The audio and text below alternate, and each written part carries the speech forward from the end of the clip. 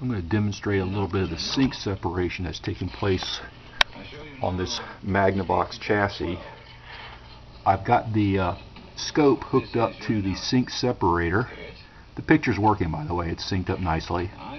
I'm going to the pin 2 and pin 3 of the sync separator which is a look at what it says here on the tube 6EB8 it's actually a dual tube sync separator and a video amp but I'm just looking at the triode part right now.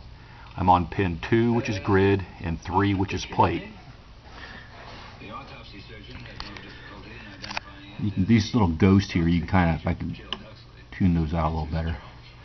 So basically what, what we have here is at the horizontal rate I'm seeing each scan line which includes video information here and then a um, a, a, a, sync pulse here. This is the grid, this is the plate. Notice how flat this is. It's completely cutting out the video information, or at least it seems to be. Let me just turn that off. And we'll recenter this up. And I'll really try to get it. You can see a tiny little bit of video getting through. Right here. But you can see, I mean, this is at uh, half a volt settings. So let me go back to, that's one volt setting. So I believe this thing's been I'll probably check the calibration, but you get some idea of the difference of the sync pulse compared to the tiny little bit of video that's still eking its way through. Anyway, that's a sync separator in action. I'm going to next do a look at the uh, oh, gosh I'm trying to get rid of all this little nastiness in here um, I'm next going to look at the vertical multi-vibrator tube, which is where SAM shows a picture of what it should look like with the brightness turned down and the vertical tube pull, just so you can see what's actually getting through the integrator. And when I do that, I'll switch this over to the uh, the vertical rate, which is probably going to be right about there. Anyway, I'll come back to that in just a minute. Okay, here we have the input to the grid of the vertical multi-vibrator pin 1 I believe it is with the tube pulled and the brightness all the way down so we don't end up burning a line into the uh, CRT and what we do is this is what should be it should be seen.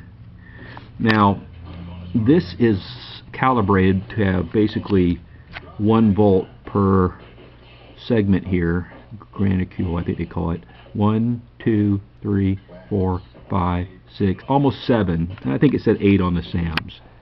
This stuff here is not video. If it was you'd see it moving. What this is is the unintegrated horizontal pulses. So in other words what happens is the sync separator has horizontal pulses at the end of each video line and then when it gets to the end of the uh, end of the frame it puts a series of pulses closely together and what happens is the integrator sees that series of pulses closely spaced and they add up essentially. Let's see if I can split this out.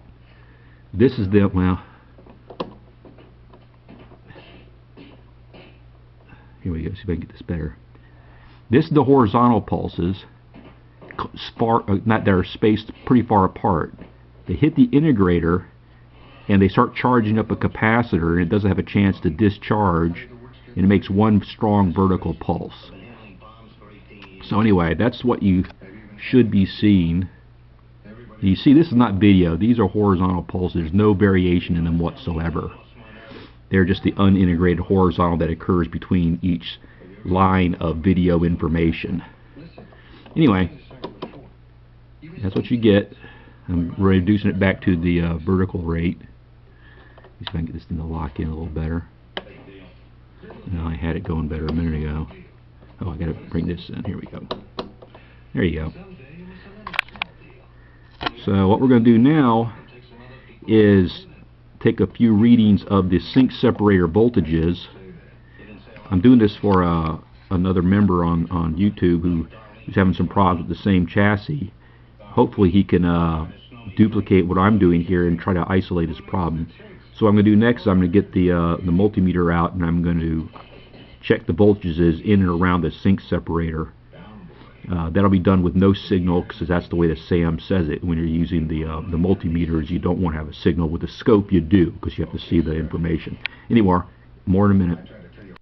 Here I am on the plate lead of the sync separator. My multimeter, pin 3, 56 volts. This is with no channel. This is actually with the tuner cocked between channels. That's really important. You want no signal getting through because that will definitely affect these readings and this is what you're trying to check make sure that plate lead is at around 60 this is 56 that's pretty close I'm going to see if I can get on pin 2 which I think according to SAMS is supposed to be minus 1 volt I don't know if I'll be able to do that with all these hands let me see hang on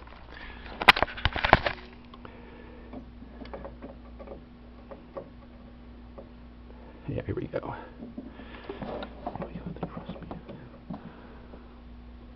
I hope this comes out. That's about as good as I can get. Minus one volt on one volt on pin two. Anyway, that's important for the sync separator to work. You have to have those voltages, otherwise it's not going to work right. And you got to make sure you got a good, clean composite signal. That's what the AGC is all about.